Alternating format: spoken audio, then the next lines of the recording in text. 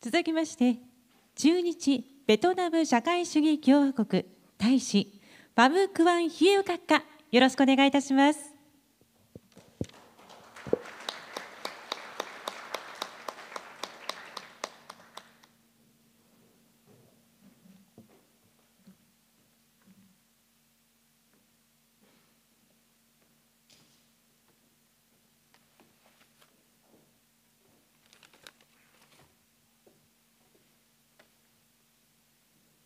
Excellency, distinguished guests, ladies and gentlemen.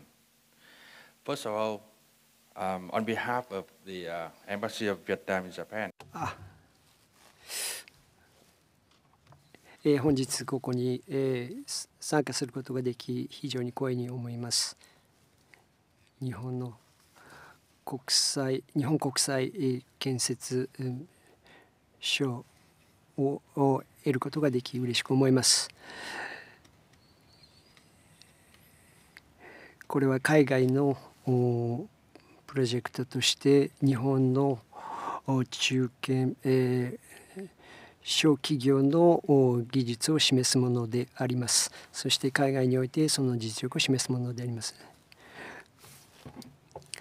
このセレモニーは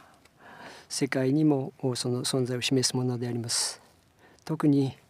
日本に日本の企業が常にね、情熱を持ってクリエイティブな形で努力を続け、えー高品質の建設プロジェクトを実行してくださっていることを嬉しく思います。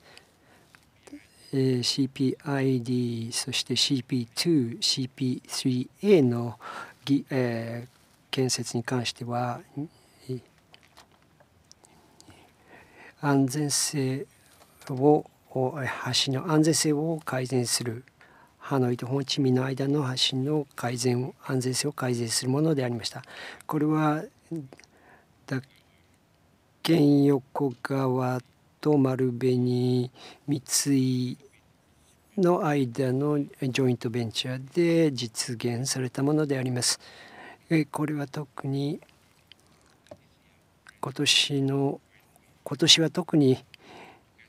えー日本とベトナムが50周年、えー外交関係設立50周年を祝うとしてもあります。私がここで申し上げたいのは日本の建設会社の方々は常に非常に情熱を持ち、えー我々にガイダンス指示を提供しそしてメンテナンスの技術におきましてもベトナムの人々そして、え建設会社の方々に提供してくれております。素晴らしいベトナムに対して、えー技術を提供してくださっております、えー皆様日本は現在あ ODA のベトナムへのドナーで、えとしてナンバーワンであります。そして主要なインフラストラクチャーのプロジェクトについて継続的に投資してくださることそしてまた先進技術を移転していただきそして人材を育ててくださることを希望いたします。えそういった理由から私どもの交通省は、え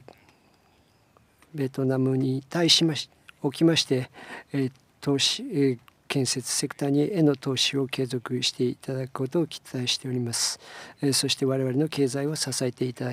けることを嬉しく思います。日本政府におきます